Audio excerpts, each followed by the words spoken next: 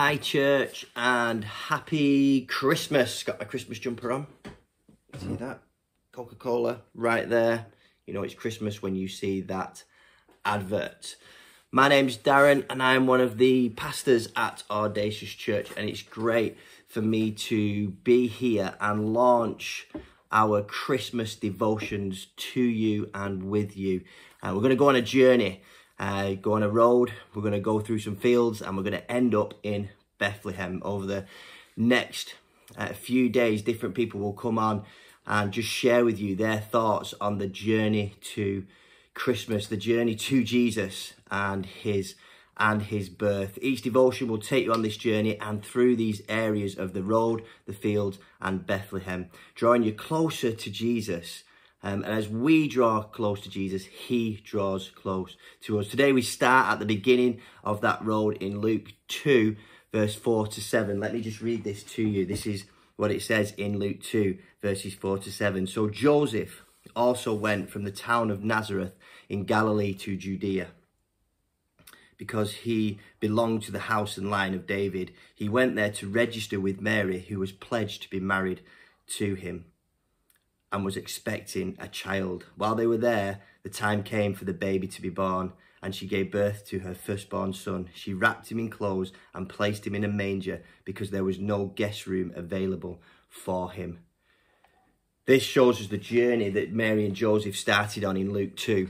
And then they were heading towards Bethlehem. They got to Bethlehem, but on the road to Bethlehem, they were holding in their hearts a promise, a promise of greatness, and just let me read this scripture, the promise of greatness from Isaiah verses 9 verses six, uh, chapter 9 sorry verses 6 to 7 this promise they held mary and joseph held this promise in their heart because they had both been spoken to by god about what was happening within mary and within them both and in their hearts. And it says this in verse 6 of isaiah 9 for unto us a child is born to us a son is given, and the government will be on his shoulders, and he will be called Wonderful Counselor, Mighty God, Everlasting Father, Prince of Peace. Of the greatness of his government and peace, there will be no end. He will reign on David's throne and over his kingdom, establishing and upholding it with justice and righteousness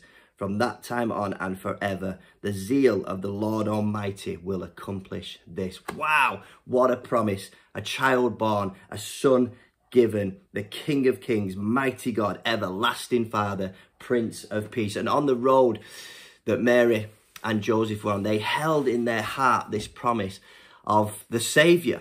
They, they knew God had spoken to them, the promise was there, but they had to go on the road to Bethlehem. They had to go on this road and as they started on this road, I'm, I'm guessing that their minds would have been filled with many questions, thoughts, frustrations, fears, maybe even doubts. They were in the gap between the promise and its, and its fulfillment its delivery. You may be experiencing something the same this, this Christmas. You may be in this moment where God has promised you something and you know it and you feel it. You, you've, you've heard him. You've read it in scripture. Uh, it might be about a relationship restored, a loved one healed, a child finding, returning to Jesus, or even financial provision.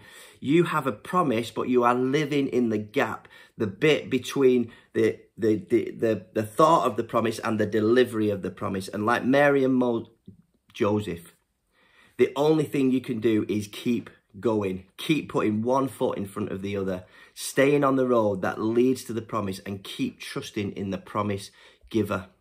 Don't take your eyes off God. Lean on him in difficult moments, in your frustrations. Don't let your feet wander from the road. Stay on that road. Staying on the road is being fearlessly determined, fearlessly devoted, seriously fun and wildly authentic. It's making sure you are planted in church life, connected to small groups and growing in your faith, reading your Bible, sharing with others.